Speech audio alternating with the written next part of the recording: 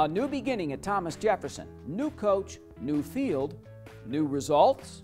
But then comes St. Albert. Now, the Yellow Jackets almost beat the Falcons last year, so TJ comes into the game with a little bit of mojo. And that small school powerhouse from up on the hill, well, wanting to reestablish its mojo after missing the playoffs for the first time in forever.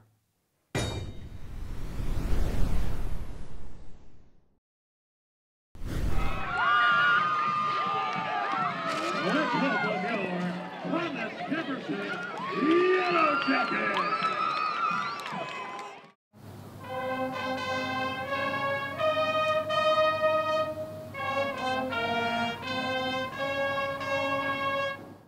Good luck. Good luck. Good luck, man. Time to light 'em up. TJ, onside kick. St. Albert recovers. Now the Falcons' second possession. First and 10 from their own 38.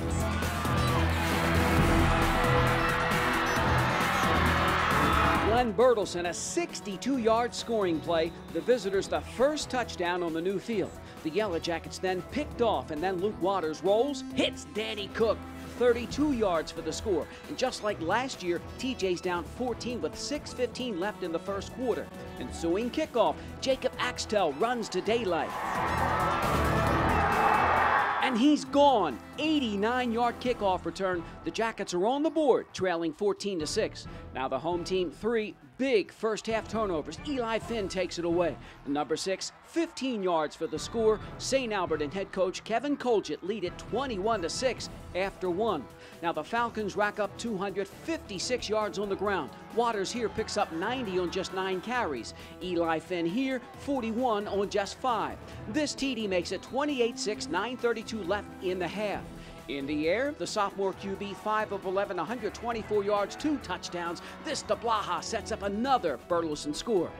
Brand Anderson and Thomas Jefferson talking it over, down 35 to 6 at the break, but not much better in the second half. Glenn Bertelson breaks loose again.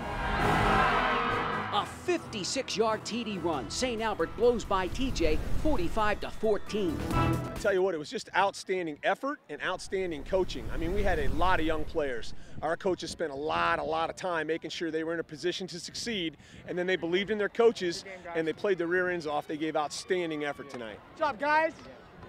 I think we came in this game and everyone thought we were so uh, undersized, and I think that kind of uh, got ever, under everyone's skin, and we wanted to show everyone that we could we could take it. Stay the course is what we told them. Not time to abandon ship. It's one game. We had some busts that made things kind of kind of get out of hand a little while there, but we stay the course. We keep working hard, and we fix the things that we can fix. Every mistake we made was correctable. We're where we need to be right now. We got to get better. We know what's down the road. St. Albert makes a statement. The Birds, once again, ready to fly. Let's go, boys. Falcons on three. One, two, three. Falcons!